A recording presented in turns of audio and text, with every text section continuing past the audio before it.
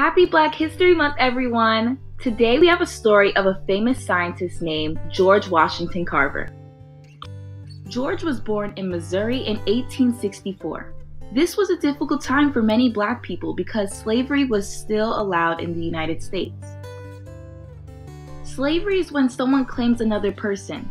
It wasn't kind or fair. Enslaved people didn't have any kind of freedom. They couldn't choose what to do, where to live, or even where to go to school. Slavery can be a hard thing to talk about because it wasn't fair or kind, but eventually it did become against the law. But it is an important part of this story because Mr. Carver was born into slavery, but shortly after he was born, slavery was illegal. George loved to read, explore the world around him, and study plants. As he got older, he wanted to become a scientist.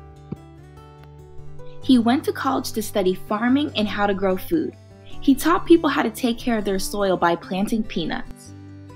The peanut plants would help add nutrients into the soil, which helped the plants grow.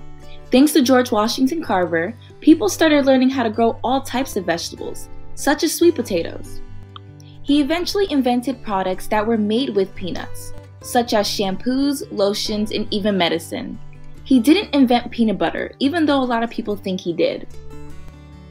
It is important to learn about people like George Washington Carver because they played a big part of our history and should be honored and recognized for their brilliant inventions. Happy Black History Month, everyone!